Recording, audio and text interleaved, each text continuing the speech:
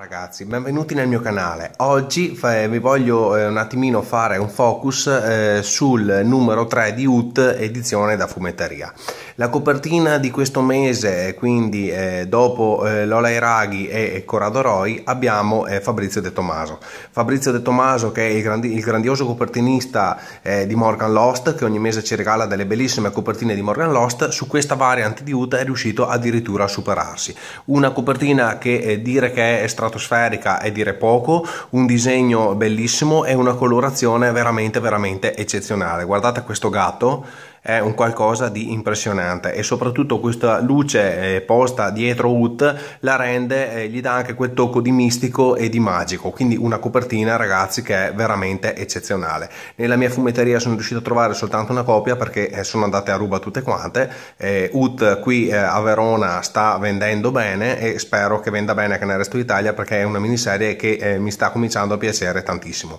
I primi due numeri mi avevano lasciato un po' così e invece il numero 3 è stato per me una una bella rivelazione. Vi lascio qui la mia recensione appunto del numero 3 Le vie dei pensieri e se volete dargli un occhio eh, comunque mi fareste un grandissimo favore. Come sempre l'edizione da fumetteria è molto eh, cura, è curata molto meglio eh, che non fa quella da edicola, l'apparato grafico mi piace molto molto di più e in più questo mese questa stupenda copertina ehm, di Fabrizio De Tommaso eh, la rende ancora più bella. Quindi dopo la già bellissima copertina di Lola e Raghi del mese scorso eh, ne va a seguire questo capolavoro capolavoro di Fabrizio De Tommaso. Come sempre nell'edizione da, ehm, da, eh, fumetteria abbiamo la storia, quindi quella che trovate già nella mia recensione che vi lascio qui nel link, e poi abbiamo, come sapete, se avete già visto eh, gli altri approfondimenti appunto dedicati a UT da fumetteria, ehm, c'è anche un apparato redazionale che ci va a spiegare un po' eh, i personaggi della storia. Questo mese questo apparato redazionale è ancora più interessante del solito perché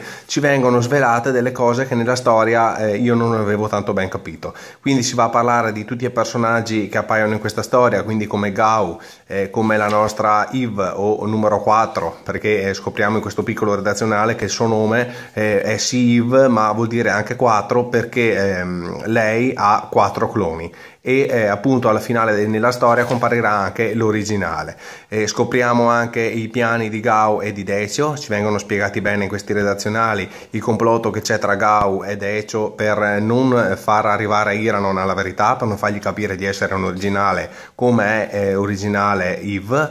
scopriamo addirittura qui eh, che ehm, eh, Gao insieme a Decio, Og e un altro sono i quattro architetti genetici, cosa che io eh, non avevo fatto caso nella storia quindi c'è un approfondimento veramente molto molto utile e quindi vi consiglio eh, di leggere appunto di comprare in fumetteria questa edizione di UT se dovete scegliere tra questo e l'edicola comprate questo. Costa 1,50 euro in più però veramente questo redazionale in fondo vi aiuta moltissimo a capire la saga di UT e io sono contento appunto di comprare tutte e due le edizioni perché appunto con questi piccoli redazionali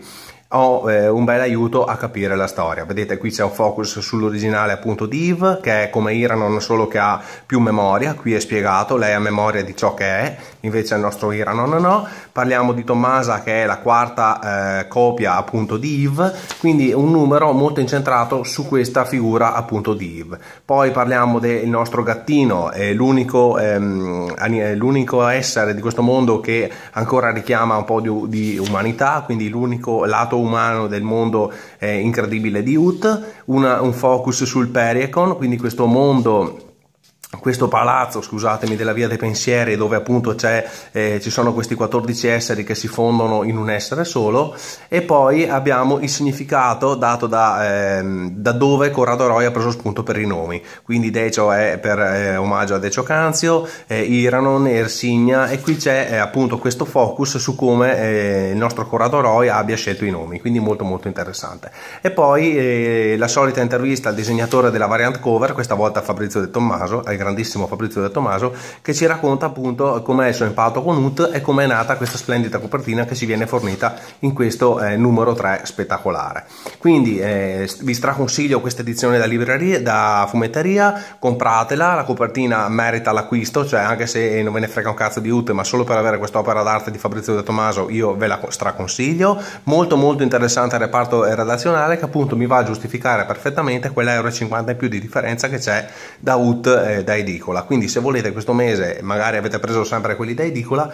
fate uno strappo alla regola e compratelo da fumetteria perché veramente merita. E lasciatemi qui sotto nei commenti se anche voi i vostri pareri sulla serie di UT e su questa edizione da fumetteria, se mai l'avete presa. Fatemi sapere cosa ne pensate degli autori di Corrado Roy. Insomma, ditemi quello che volete, come sempre qui sotto nei commenti, che a me eh, fa tanto piacere. Ricordatevi se non ancora non l'avete fatto di iscrivervi al mio canale per essere sempre aggiornati sul mondo di UT e di tante altre uscite della Saggio Bonelli Editore e condividete questo video con più persone possibili in modo da far conoscere il mio canale a tanti appassionati di fumetti come me e quindi avere tanti appassionati che vengono a parlare dei fumetti qui eh, sotto questi video o anche sulla mia pagina Facebook. Vi lascio qui il link in descrizione, passate anche da Facebook, mettete un like, un commentino anche sulla mia pagina. E con questo vi saluto, vi ringrazio per aver assistito a questa recensione, ci vediamo alla prossima. Ciao ragazzi!